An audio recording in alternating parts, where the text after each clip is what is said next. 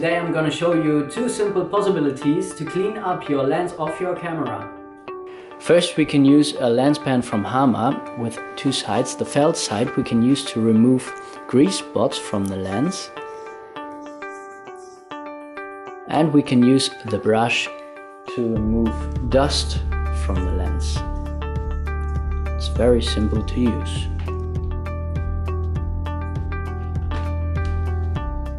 Or we can use a tissue or a t-shirt without a print and we cover one finger with a tissue and be careful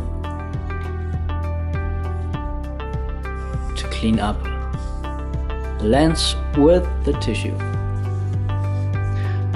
Now it's clean. If you like my video, give thumbs up, share it and don't forget subscribe our channel. See you next time.